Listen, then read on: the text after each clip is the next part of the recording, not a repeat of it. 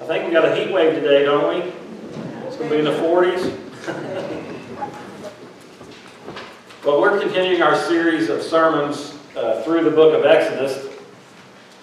I guess we're on a journey ourselves uh, as we go through uh, this book. But last week we looked at uh, the Passover event that took place in uh, chapter 12, and we looked at the Israelites uh, finally getting the green light to leave Egypt and begin their journey. Uh, today, this message uh, I've entitled "The Red Sea" because that's the main focus of this of this next section uh, in the end of chapter 13 and the beginning of chapter 14. Uh, and we're going to look at six moments today, but it's interesting that God used this body of water to save the people, and I see it uh, much like baptism. You know, that God used the water as part of His plan to save the people, and he, and he uses that plan today in the New Testament through, through the waters of baptism. But He also used the water uh, to destroy the Pharaoh and Pharaoh's army. Uh, so uh, that Red Sea came in really handy during, during this part of the story. But uh, we're going to look at, at six uh, points uh, in, this, in this section today. And the first one I've entitled God's Leading because once they got the green light or the go to, to leave Egypt, they needed some guidance along the way. And we'll pick that up in chapter 13 of Exodus, beginning with verse 17. It says, When Pharaoh let the people go, God did not lead them on the road through the Philistine country, though it was shorter, though that was shorter. For God said if they faced war, they might change their minds and return to Egypt. See, God already knew they were wishy-washy people. Uh, so God led the people around by the desert road toward the Red Sea. The Israelites went up out of Egypt ready for battle. Moses took the bones of Joseph with him because Joseph had made the Israelites swear on an oath. He, he had said, God will surely come to your aid, and then you must carry my bones up with you from this place. After leaving Succoth, they camped at Etham on the edge of the desert. By day, the Lord went ahead of them in a pillar of cloud to guide them on their way, and by night in a pillar of fire to give them light, so that they could travel by day or night. Neither the pillar of cloud by day nor the pillar of fire by night left its place in front of the people. So we see God not only leading the people out of Egypt, but guiding them down the right path, and then using a cloud and fire uh, to make sure that they would uh, go in the right direction. And so um, it's interesting to me that God doesn't take the easiest or quickest or shortest route to lead them. He doesn't lead them that way, but He leads them on the right path so they wouldn't turn back and, and if they faced a battle of some sort. And I think that kind of plays into our lives today that we need to trust God and His path for our life. I know sometimes we want to take the path of least resistance or we want to take the easiest path or the quickest path to get where we need, but God's timing is not ours, and so we need to trust God to follow the right path He has for us. Whether that's the path of healing, or that's a path of guidance, or strength, or encouragement, or hope, or whatever it is, we need to ask God for His guidance to lead us. Now, He's not going to put a pillar of fire, a pillar of cloud in front of you to lead you around, uh, but God doesn't work that way anymore. He works through His Holy Spirit that, he, that dwells inside of us. And so the Spirit is a guide in itself, and so we need to trust in that guidance that God gave us. It's like a, internal GPS, if you will. Uh, we, you know, we have uh, that uh, GPS inside of us that uh, helps guide us into the best route. Now, I don't know about you, but, but I use GPS quite a bit uh, when we're traveling, and uh, it's always interesting that most of the time your GPS wants to take you uh, what they say is the quickest route. And you're like, why am I driving through a cornfield and why am I going through the neighbor's you know, yard? And it wouldn't be easier to go, go another way, but they try to take you, you're, you're like down an alley and you're locking your doors because you're going through like gang territory or something. Uh, so you can't always trust that GPS, but you can trust the Lord to guide you uh, to safety uh, through His Spirit. And so we always need to trust in God's timing. But that's exactly what God did for them. Not only did He lead them on the right path that he chose, but he also guided them with the cloud uh, and uh, the fire. And the interesting thing about that, too, I don't know if you caught it, is the cloud and fire by night were always in front of the people. And, and so uh, we need to not get ahead of God. You know, God, we need to follow God and let Him lead us in front of Him. You know, instead of trying to tell God which way we want to go, or instead of trying to, a lot of times we want to get ahead of God. You know, He's not moving fast enough for us. But you know, we need to let Him be up front and lead us, and not get ahead of God. Now, the second part of this story I call hot pursuit. Uh, I don't know. Uh, when I think of hot pursuit, I think of Roscoe P. Coltrane and his good buddy Flash. Anybody remember Roscoe and Flash? What a great childhood. I've tried to slide across my hood of my car before. That didn't work out very good. Uh, but really, we're talking about a different kind of hot pursuit. But it's funny how words. When I, when I first saw hot pursuit, I'm thinking, oh, Roscoe P. Coltrane. But anyway, uh, the pursuit we're talking about in this next section uh, is uh, beginning in chapter uh, 14, verse 1, is this uh, obviously the Pharaoh changing his mind and, going after the Israelites. It says, uh, Then the Lord said to Moses, Tell the Israelites to turn back and encamp near Pi Hahiroth between Migdol and the sea. Don't, don't think Jason's pronouncing this right, I don't know. They are to encamp by the sea directly opposed to Baal Zephon. Pharaoh will think the Israelites are wandering around in the land of confusion, hemmed in by the desert. And I will harden Pharaoh's heart, and he will pursue them. But I will gain glory for myself through Pharaoh and all his army, and the Egyptians will know that I am the Lord. So the Israelites did this. When the king of Egypt was told that the people had fled, Pharaoh and his officials changed their minds about them and said, What have we done? We have let the Israelites go and have lost their services. So he had his chariot made ready and took his army with him. He took 600 of the best chariots along with all the other chariots of Egypt with officers over all of them. The Lord hardened the heart of Pharaoh, king of Egypt, so that he pursued the Israelites who were marching out boldly. The Egyptians, all Pharaoh's horses and chariots, the horsemen and troops, pursued the Israelites and overtook them as they camped by the sea near Pi Hahiroth, opposite Baal. Zeph, Zephon. Um, God's like, hey, if you can't pronounce it, I'm going to put it in there twice. Uh, so you can work on that. But anyway, uh, that is, uh, in this next section, God gives the Israelites uh, a command where they need to go and where they need to camp. And so not only is he leading them, but he's putting them in a place where he wants to show his glory and show the Egyptians really that he is in charge and he's in control. Um, but he also was kind of tricking Pharaoh because he wanted Pharaoh to think they were trapped by the desert and they could surround them and overtake them. Uh, but obviously, you would think there's the Red Sea and there's the desert. They, they don't have nowhere to go.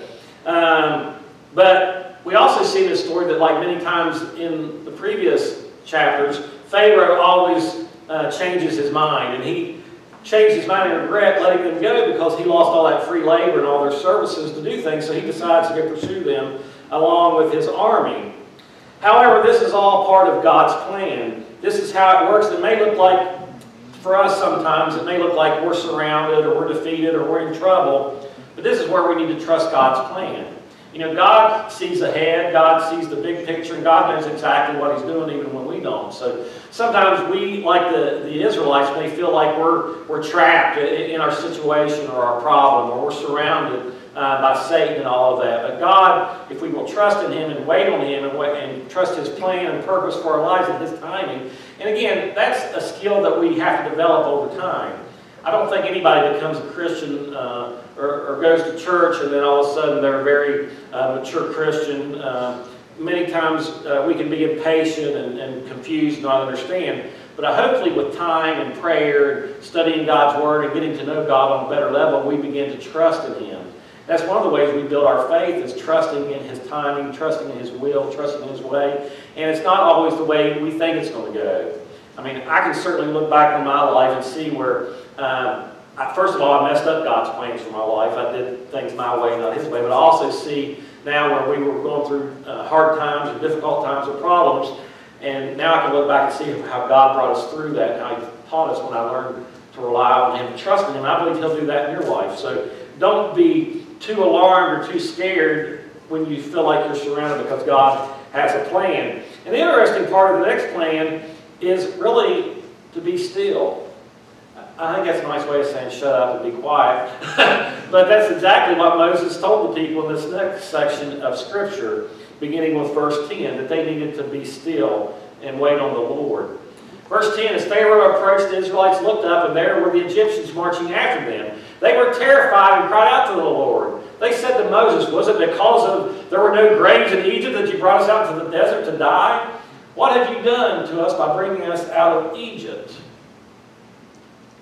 Didn't we say to you in Egypt, Leave us alone, let us serve the Egyptians? It would have been better for us to serve the Egyptians than to die in the desert. Talk about turning on you in a hurry. Uh, you know, as soon as the first sign of trouble comes, they're already complaining and wanting to go back and be slaves. That, that doesn't make any sense at all to me. They're like, why would you want to go back and live that way? But in their minds, they thought that would be better than just dying out here in the middle of nowhere. But again, it's because they weren't trusting in God and His plan. Moses answered the people, verse 13, Do not be afraid, stand firm, and you will see the deliverance that the Lord will bring to you today. The Egyptians you see today, you will never see again. The Lord will fight for you. What do you need to do? You only need to be still. So, I know our tendency sometimes when we face things is to complain, to gripe, uh, blame someone else, blame God. God gets a lot of blame for things that, that He didn't do. But a lot of times it's because we're not, not trusting in Him. In this situation, the Hebrews saw that Pharaoh and his army was approaching them. and They became terrified, and they immediately started to complain and gripe uh, that God had just brought them out here in the desert to die. They would have been better off to stay and be slaves. And this is not the last time they're going to say something like that. They, every time something didn't go their way or they thought they were in trouble, they always wanted to go back to, to what they had, which wasn't good in the first place.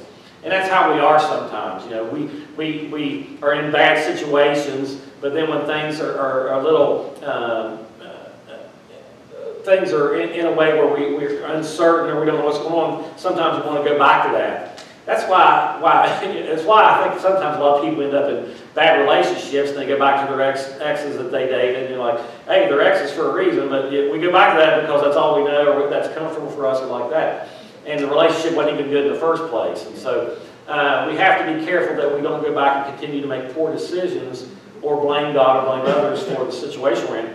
As Christians, I think whatever our situation is, whatever our circumstance is, uh, that even though we might have a little bit of anxiety or we might have a, a little bit of fear, that we still need to trust God. And Moses tells them, don't be afraid, stand firm. You're going to see God bring you through this today. And not only that, you're never going to see these Egyptians again. But the Lord's going to fight for you, but you need to be still. And that's what I want to say to me and you this morning is we need to let the Lord fight for us, but, but we got to shut up and be quiet long enough to let him do his job. So encourage you whenever you face something like that to be still. Instead of griping or complaining or blaming someone, just be quiet and let the Lord fight for you. The next section uh, I've entitled Move On because that's exactly what the Hebrews are going to do. Beginning with uh, verse 15 of chapter 14, it says, Then the Lord said to Moses, Why are you crying out to me? Tell the Israelites to move on. Raise your staff. They want to stop and have a pity party. Raise your staff and stretch out your hand over the sea to divide the water so that the Israelites can go through the sea on dry ground. I will harden the hearts of the Egyptians so that they will go in after them and I will gain glory through, through Pharaoh and all of his army, through his chariots and his horsemen. The Egyptians will know that I am the Lord when I gain glory through the Pharaoh, his chariots, and his horsemen. Then the angel of God, who had been traveling in front of Israel's army, withdrew and went behind them. The pillar of cloud also moved from in front and stood behind them, coming between the armies of Egypt and Israel. Throughout the night, the cloud brought darkness to the one side and light to the other side, so neither went near the other all night long. And so in this case, God tells Moses, Why are you crying out to me? Move it. uh, instead of sitting there and complaining and wallowing in your self pity, you need to move on. And I need you to move on because I'm going to do something great here. Uh, I'm going to, show you uh, what I'm about to do, and especially I'm going to use your enemies uh, to show them how that I am the Lord, and I'm going to bring glory to myself through that.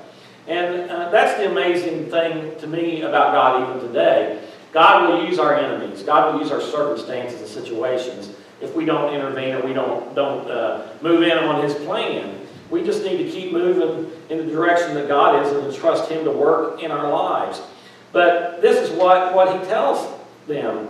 You know, that, that I'm going to use the Egyptians and show them that I'm Lord and I'm going to gain glory through the Pharaoh and his army and all his chariots and horsemen. And not only that, the, angel of the Lord in the cloud moved from in front of the Israelites to the back and separated them from their enemy. And so neither one of them could see. One side was dark and one side was light, and they couldn't see them. But I can imagine uh, God telling Moses that I'm, I'm going to lead you through the Red Sea, and he'd be like, say what? You know what? I mean, they've never seen anything like that before. Can you imagine uh, God, uh, you know, coming and, and, saying that He's going to lead them through the sea? Uh, and but that's exactly what happens. Uh, he takes them to the to the to the sea. Now, looking at the, the, the, Red Sea, they might have, and I get understand why they maybe felt trapped because not only do I have the desert on this side and uh, the Red Sea on this side, but I can, can see sometimes feeling that sense of peril or that sense of fear. But God had a plan and was going to use this sea to do great things and lead them across on dry ground, which again, I would put in a little thing, and God always keeps His promise. God always does what He says He's going to do. We can rely and trust in His Word and His Scripture. It still applies to us today. If God says He's going to lead them to safety through dry land, that's exactly what He's going to do. It doesn't matter if He parts the sea or builds a bridge or makes them all walk on water. It doesn't matter, but He chose to separate the sea. And we pick up this in verse 21 of chapter 14. It says, that Moses stretched out his hand over the sea, and all that night the Lord drove the sea back with a strong east wind and turned it into dry land. The waters were divided, and the Israelites went through the sea on dry ground, with a wall of water on the right and a wall of water on the left. The Egyptians pursued them, and all of Pharaoh's horses and chariots and horsemen followed them into the sea. I also find that uh, pretty, uh, pretty interesting because uh, I'm not sure. I guess they thought, well, the Israelites are going through there. I'm going to do it. Or they were probably so consumed with their task of getting the Israelites back that they didn't even think about that. But verse 24 says, During the last watch of the night, the Lord looked down from the pillar of fire and the cloud at the Egyptian army and threw it into confusion. He jammed the wheels of their chariots so that they had difficulty driving, and the Egyptians said, Let's get away from the Israelites. The Lord is fighting for them against Egypt. The thing I notice here is all of a sudden the, the Egyptians are acknowledging God. You know, this is the first time that they knew the Lord, this is big L, Lord, God, is fighting for them against the, you know, is fighting for the Israelites and against the Egyptians. So um, sometimes we miss little tidbits like that when we're reading Scripture, but you know, this is the first time I noticed that, that they're acknowledging, hey, their, their God is, is for real. You know, He's fighting for them. And, and it's also uh, to note that they noticed that right before uh, their demise that's going to happen. But Moses stretched out his hand and staff on the sea, commanded uh, the Lord to move the seas back, and he did that, and they were able to walk across the wall on dry land with a wall of water on the left and right. Now, I know you've probably thought, thought this too. I'm like, wonder when they're going through that wall if they saw fish and stuff on the sides, you know what I mean? Trying to throw a fishing pole on the side there and get one, maybe, I don't know. But that would have been interesting to see uh, if that had happened, but uh, I've just been uh, amazing to see uh, a miracle like that. Uh, and it's still interesting that some of these miracles they saw through the plagues and uh, even this, that they still uh, turned away from God. And we can be like that too. No matter what God does in our life, if we become too worldly or enticed too much by sin or temptation, we start backing away from God or start doubting God, even though we've seen Him working in our lives before. So um, you know, we could be real quick to rush to judgment and think, boy, these Israelites were just a bunch of jerks or they're just a bunch of faithless people. But, you know, yeah, you know, again, it goes back to we're pointing out other people's sin and ignoring ours. You know, we can be just as bad, bad as them, so we need to keep that in mind. But God separated the water, and they began going through that, and then the Egyptians chased them into the sea. But God threw them into confusion because he didn't want them to catch up with them. And again, I say this God always wants us to trust Him. He's fighting for us, and He is going to do things to prevent us from being caught, prevent us from being overtaken if we will just continue to wait on Him and trust in Him. Which brings me to my final thought this morning as they're going through the Red Sea, and that is salvation. And that God saved them from the Egyptians that this story has a happy ending and a good ending as far as the story of the Red Sea goes. And it finishes up chapter 14, beginning with verse 26. Then the Lord said to Moses, Stretch out your hand over the sea so that the waters may flow back over the Egyptians and the chariots and the horsemen. So Moses stretched out his hand over the sea, and at daybreak the sea went back to its place. The Egyptians were fleeing towards it, and the Lord swept them into the sea. The water flowed back and covered the chariots and the horsemen, the entire army of Pharaoh that had followed the Israelites into the sea. Not one of them survived. But the Israelites went through the sea on dry ground with a wall of water on the right and a wall of, and, and on their left. That day the Lord saved Israel from the hands of the Egyptians, and Israel saw the Egyptians lying dead on the shore. And when the Israelites saw the mighty hand of the Lord displayed against the Egyptians, the people feared the Lord and put their trust in him and in Moses his servant. So if the Israelites were going to fear anybody, it shouldn't have been the Egyptians, it should have been God. And not that kind of fear, but a, a reverent fear, a fear of awe, because you know God obviously kept his promises. God said he was going to get us out of here, and he did. God said he was going to save us from them, and he did. And so seeing the results of God's promises in action made them fear the Lord and put their trust in him. And, and I think God provides opportunities for us to trust in him as well. He gives us opportunities to serve him and worship him, uh, but he also gives us opportunities to, to teach us and discipline us and do different things, but, but we uh, have to learn to trust Him. And we can obviously do that through His Spirit and through His Word and, seeing Him work in our lives. And so He provided salvation that day for them when Moses had the sea uh, raise its hands again, the sea would flow back together and destroy the army of Pharaoh and Pharaoh, and not one person was left. And not only that, afterwards they saw all the, the Egyptians lying dead, dead on the seashore. Uh, now, to keep this in mind, the Red Sea is not super big. You know, it's not like uh, the Great Lakes or, or something like that. Um, I did, when I, I got to go to Israel several years ago, and I did not get to go to the Red Sea, but uh, I went to the, uh, uh the other sea, the Sea Galilee, and um, from up top of uh, a mountain, they had an overlook where you could see the entire sea from one end to the other and across. Um, and the uh, Red Sea is a fourth the size uh, of, of that sea if you look, look on a map and, and, see that. So I'm sure they were able to see what was going on, on the other side they could see those bodies laying there. And so that would give you a little bit of encouragement as well to know that they're dead and they're not going to keep coming after us. And uh, what the Israelites saw was the mighty hand of God, which that phrase is used a lot in this book. God wants the people to display his power and see his mighty hand. And we see God's mighty hand throughout the story of Exodus, but we also see God's mighty hand through all of the, the other books and stories.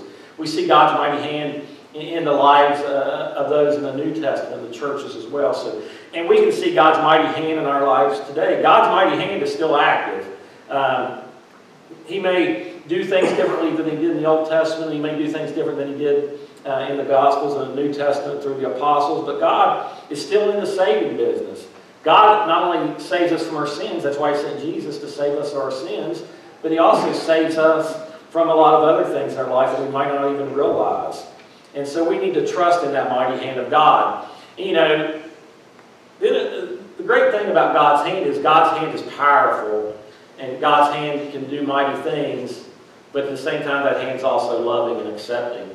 Um, and that's something to think about as God is, can be all things to us and help us in a lot of ways. And God will save you as well. The world throws a lot at us. You might not have the Egyptian army chasing after you, but you might have struggles with sin in your life. You might have uh, troubles with relationships. You might have trouble with finances. You might have trouble with all kinds of things in your life. And you're trying to figure them out on your own. And you really just need to surrender those things to God. Um, a lot of people come to church, a lot of people become Christians, a lot of people get baptized, but one of the keys to making all of that work is total surrender. A lot of people only want to partially surrender. Well, I'll give God this part of my life, but, but I don't want to give him this part of my life. Or I'm going to trust God with these things that I know he can take care of, but I'm going to go ahead and hold on to these. But being a Christian, and being a Christian that grows and matures, it has to be total surrender. You can't pick and choose what you give to God. You either give God all uh, or nothing. Just like the old hymn we sing, all to Jesus I surrender, all to him I freely give. It's not uh, son to Jesus, I surrender. I'm Only gonna give him things I want. It's, it's not that. That's not what it is. We've got to give God all. And if we learn to surrender all to Him, um, it's going to help us be more blessed and grow and mature in our faith. And so I think that's part of the problem with the Israelites and part of the problem with some of these other accounts you see in the Bible is people were not willing to trust God like they should.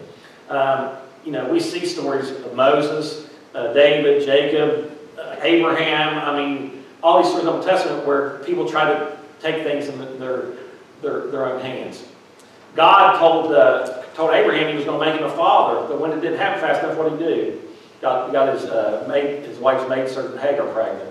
Um, you know, we see it through Jacob, we see it through, uh, through Isaac, we see it through David, and we see it, and, and, and these are great people in the Bible, but they still, um, at times, didn't trust God, or they tried to do it on their own wisdom. And I think those things in the Bible to show us, number one, that nobody, I don't care how much we put people on a pedestal, they're still flawed. You know, Paul was a great apostle, but he still had flaws. Peter was a great apostle, but he still had flaws. You know, David, Solomon, all these people still had flaws. And we're still going to have flaws. And that's not an excuse to sin and mess up. It's really a, a way for us to even trust God even more. Like, I know I'm messed up. I know I'm screwed up. If, I, if we're relying on my own wisdom or smarts, I'm going to be in trouble. I can't save myself. None of us can save ourselves. Only God can save us through Jesus Christ. But also, we can't maintain our faith and grow our faith if we don't learn to fully rely on God and trust Him in those situations. But we're going to see in this story that, that sometimes the Israelites do that and sometimes they don't. But we're going to offer, uh, we're going to stop there and offer our, our time of invitation. And I'm going to have uh, the praise team come forward and uh, we're going to sing uh, a song of decision if anybody needs to respond to the invitation this morning. Uh, you can do that whether you've never accepted Jesus as your Lord and Savior or you've never uh, you've uh, never uh, placed membership here at church or maybe you've fallen away from your faith and you want to rededicate your life to God. Um, you can do that as well.